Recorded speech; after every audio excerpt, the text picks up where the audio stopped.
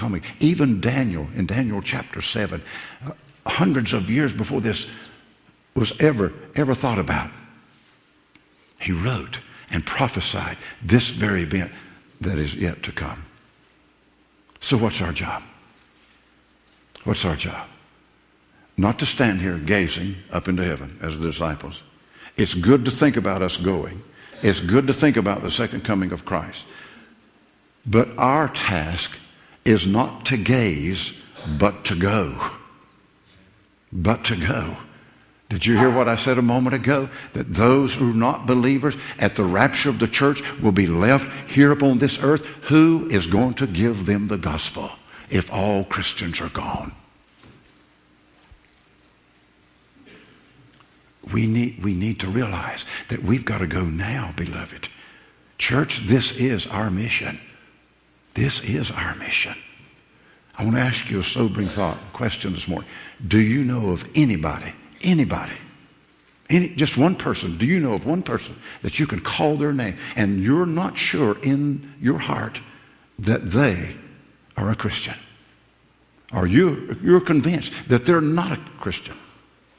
That's the more reason for you to go and tell them immediately. Immediately. We must be ready for his sudden return and get others ready to meet God. I want to say to you this morning there is no prophecy in Scripture yet to be fulfilled that would keep Jesus from coming anytime, even today. There is no prophecy. You say, Pastor, how do you know that? Turn with me in your Bibles to Matthew's Gospel, chapter 24. Let's listen to the Word of God. Matthew chapter 24, verse 3. This is so important. I, I just must give this to you before we close. Matthew 24, verse 3. Now, as he, Jesus, sat on the Mount of Olives, the disciples came to him privately saying, Lord, would you just tell us when will these things be? And what will be the sign of your coming and of the end of the age? And, and they were questioning this. They, they wanted to know. And Jesus answered and said to them, Take heed that no one deceives you. For many will come in my name, saying, I am Christ, and will deceive many. And you will hear of wars and rumors of wars. See that you are not troubled. Don't be upset by that. For all these things must come to pass, but the end is not yet. For nation will rise against nation and kingdom against kingdom, and there will be famine, pestilences, and earthquakes in various places. Earthquakes in various places. Have you heard of that recently? Sure have. All these are the beginning of sorrows. That is, the birth pains prior to the birth. A mother, before she delivers a baby, goes into birth pains. Can I hear an amen from these moms? amen. Some of, you, some of us men ought to have to do that. I know of a fellow. I, I, know of a fellow that that told his wife he didn't want her to have anything uh, to help her through childbirth. He wanted her to have it naturally, and I wanted to tell her, "Why don't you tell him to have it?" Jesus said, "Listen, these are the birth pains prior to the delivery. They will deliver you up." To tribulation and kill you, and you'll be hated by all nations for my name's sake. And then many shall be offended and betray one another and will hate one another. Our world is filled with hate today. Then many false prophets will rise up and deceive many. Boy, hadn't we had them. And because lawlessness will abound, the love of many will grow cold. There are many on our church roll here at Rocky Hill Baptist Church whose love has grown cold. They're not here anymore. And they're not in the cemetery either. Jesus said that's going to be one of the characteristics. But he endures to the end shall be saved. Now listen to this. And this gospel of the kingdom shall be preached in all the world as a witness to all nations, and then the end will come. Now listen carefully. We are closer to the gospel being preached to all the ends of the earth, to every nation, than we have ever been. We're almost there. And Jesus said, when that happens, the end will come. I don't know the exact date. The Bible says not even the angels in heaven know. Only God knows. But I know something that God has given us enough knowledge today in the Word of God to help us to know that it is around the corner.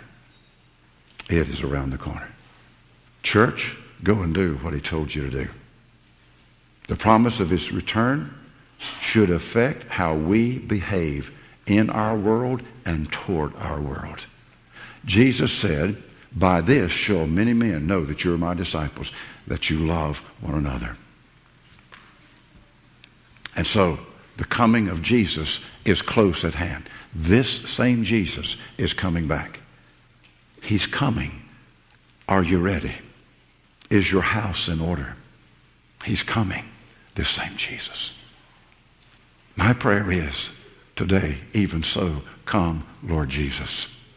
Even so, come, Lord Jesus. I'm getting like George Younce, the bass singer of the cathedrals, who's gone on to be with the Lord.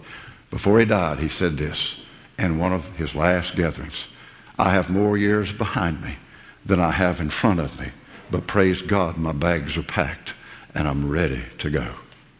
I'm ready to go. Are you ready? Is your house in order? Is your house in order? It's coming. He said it was. The angel said, Listen, this same Jesus that you see going right now, you see him physically, bodily, visually, he's coming in the same way. He's coming in the same way. And the Bible says, every eye shall behold him. Every eye shall behold him. He's coming. He's coming. These are, these are exciting days for us. I'm so glad I'm alive in this generation. Aren't you? Oh, come on. If you weren't, you'd be dead. Aren't you glad you're alive in this generation? With all the mess? Listen, the Bible says God's going to take you out of this mess one of these days. He's going to redeem you. As He redeemed your soul, He will redeem your body. And praise God, you know how we're going to know Jesus? We're going to have a body just like Jesus.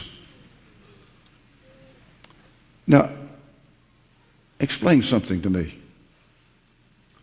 If, if I'm going to go up like Jesus, how am I going to go up? It won't be by airplane. It'll be the same way Jesus went up in the power of God. Amen. Oh, if some people could see that, that'd really upset them, wouldn't it? Listen, you're going to go up by the power and the grace of God at the rapture of the church.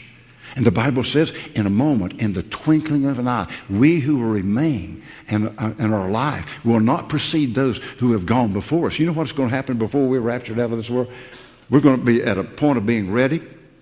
We're not going to go until we see our loved ones' bodies go out of those graves and go up to meet their souls and be with God and wait for us to join them. And the Bible says, Then we which are alive and remain shall be changed in a moment, in a twinkling of an eye. Just bat your eyelash for just one moment. That's how fast you'll go. That's pretty fast. I, I, I suggest to you this morning that's faster than the speed of sound. Faster than light travels. We will go out of this world in a moment, in the twinkling of an eye, we shall be changed, and so shall we caught, be caught up in the air. What a glorious day that's going to be. Can you say amen this morning? Amen. amen. Stand with me to your feet, please. The pianist is going to come and play softly. The invitation is simply this it's in the form of a question Are you ready? Are you ready?